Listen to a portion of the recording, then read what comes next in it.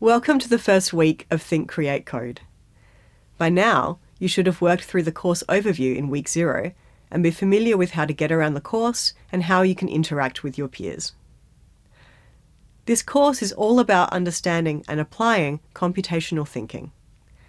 You will develop computational thinking skills and learn to code through creating digital artwork. Understanding how computational thinking works involves identifying the algorithm that tells the computer what it has to do, where an algorithm is really just a sequence of precise instructions.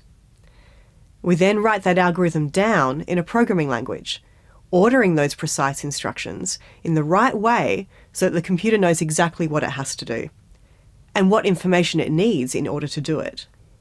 The programming language that we will be using is called processing.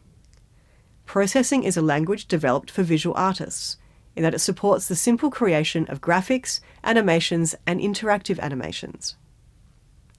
In processing, the programmer can create new images as well as modifying existing images.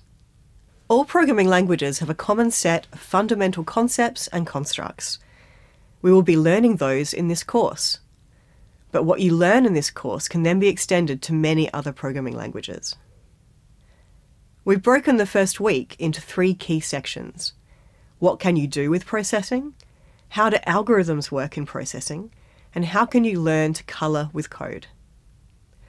In this week, you will not only be introduced to key concepts and techniques, but you will get the chance to apply your skills and knowledge in a series of checkpoints, discussions, and learning interactions using your coding canvas and gallery. Okay, so let's get started. Remember to use the left navigation to progress through each week, and the top menu to complete activities within each subsection.